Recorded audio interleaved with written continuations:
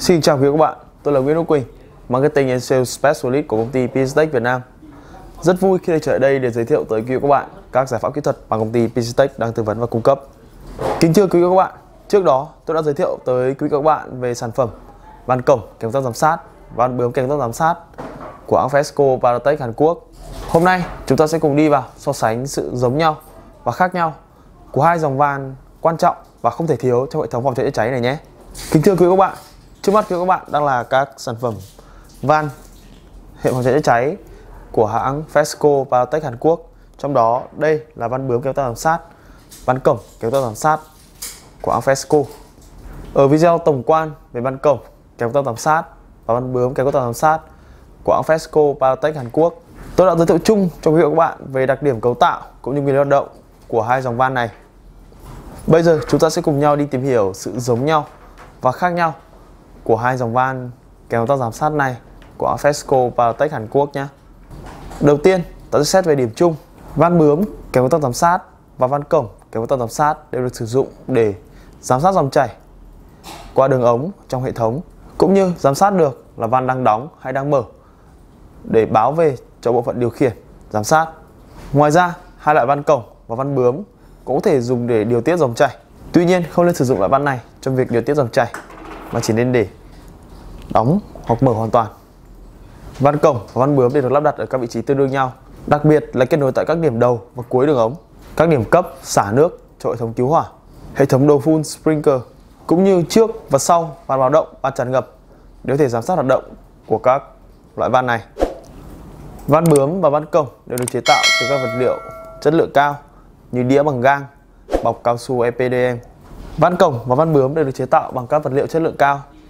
Đĩa van bằng gang được bọc cao su EPDM và các bộ phận được chế tạo bằng đồng và thép không dỉ, phù hợp hoạt động ở nhiều môi trường khác nhau như những môi trường nhiệt độ cao, áp suất cao, các môi chất như môi trường chất lỏng, dung dịch, hóa chất, vân vân.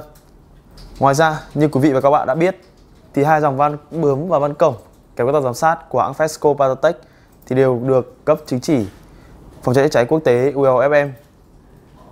Vừa rồi là điểm chung giữa van cổng kèm tác giám sát và van bướm kèm tác giám sát của hãng Fesco Biotech Hàn Quốc. Bây giờ chúng ta sẽ cùng đi vào phần khác nhau giữa hai dòng van này nhé. Sự khác nhau đầu tiên đó chính là ở phần cơ bản nhất là đĩa chặn của van. Van cổng khi đóng thì đĩa van sẽ đi xuống, còn khi mở đĩa van sẽ đi lên. Còn đối với van bướm thì đĩa van sẽ quay quanh trục cố định. Khi mở hết cỡ, đóng hết cỡ, đĩa van chỉ xoay một góc 90 độ. Như vậy, van bướm thì đóng mở nhanh hơn, còn van cổng thì đóng mở mất tiền nhiều thời gian hơn. Van cổng kéo ta giám sát thì có hai dạng kết nối là dạng kết nối mặt bích và nối cùm. Còn van bướm kéo ta giám sát thì có thêm dạng bích kẹp wafer. Ngoài ra, đối với van bướm thì phần công tác giám sát sẽ đi kèm luôn với hộp số của van bướm. Còn van cổng, phần công tác giám sát sẽ đi rời ra và yêu cầu người sử dụng phải tự lắp đặt. Tôi đã có chi tiết hướng dẫn cách lắp đặt công tác giám sát vào van cổng. Quý vị và các bạn có thể tham khảo. Về phần vị trí lắp đặt, ban công kèm công giám sát, và với kèm công giám sát đều thể lắp đặt theo trục dọc hoặc trục ngang. Về độ bền và tính chắc chắn thì van cổng sẽ tốt hơn, đóng khít hơn. Tuy nhiên, nếu so về chi phí thì van bướm sẽ có giá thành tốt hơn do có thiết kế đơn giản hơn.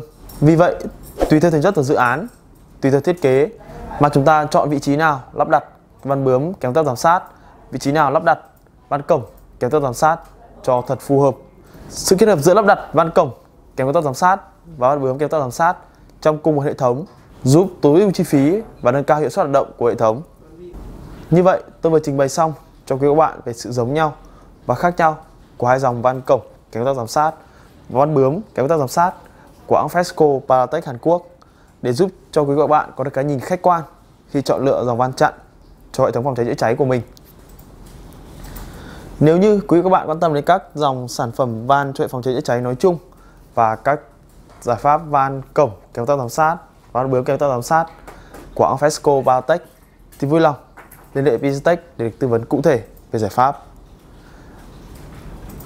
Quý vị các bạn vui lòng truy cập website www.pgtech.com.vn hoặc gửi thông tin qua địa chỉ email sales.pgtech.com.vn hoặc quý vị các bạn có thể liên hệ trực tiếp qua số điện thoại dây nóng 0962 875 986 để nhận được tư vấn cụ thể về giải pháp cũng như nhận được ưu đãi tốt nhất dành cho quý vị các bạn. Nếu thấy video hữu ích, quý vị các bạn đừng quên like, share video này, đăng ký kênh YouTube của PCTech Việt Nam, đăng ký thông báo để không bỏ lỡ bất kỳ video nào về các giải pháp kỹ thuật mà công ty PCTech đang tư vấn và cung cấp. Xin chào và hẹn gặp lại quý vị các bạn ở những video tiếp theo.